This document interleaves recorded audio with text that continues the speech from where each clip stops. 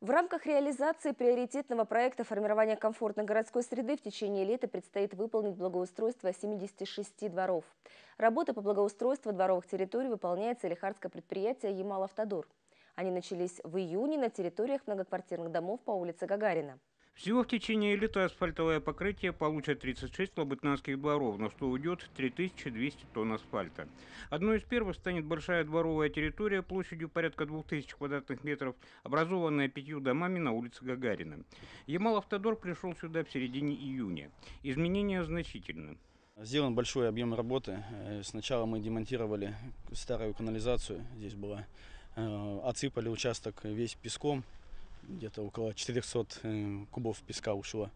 Вот, подняли, получается, тот двор на 60 сантиметров. Вот, установили э, бордюрный камень по периметру дома. Остается сейчас у нас только э, расклинцовка мелким щебнем и асфальт. Асфальт мы планируем где-то числа уже 7-8 сюда выйти, уже будут дворы уже закатаны асфальтом. Лавочки, урны, светильники, которые тоже входят в минимальный перечень работ по благоустройству, пока в дороге и будут установлены по прибытию. А сегодня рабочие Ямал-Автодора работают на других участках. Одним из них стал двор домов 40 и 42 по улице Дзержинского. Площадь работ на этом участке примерно 1000 квадратных метров, и на всей этой площади идут работы. Выравнивание грунта, отсыпка щебня, установка бордюрного камня.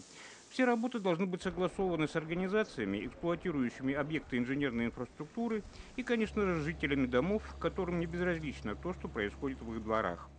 Ходят, интересуются, некоторые начинают ругаться сначала при виде, когда мы все демонтируем, разрушаем, все у них устоявшиеся, там заборчики деревянные, которые уже под свалку надо, ну уже давно было списать и выкинуть.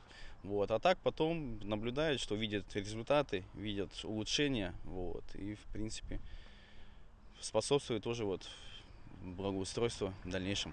Этот двор сотрудники Ямал-Автодора закатать асфальтом предполагают к середине июля. И потом еще 34 двора до юбилея города, который мы отметим 9 сентября.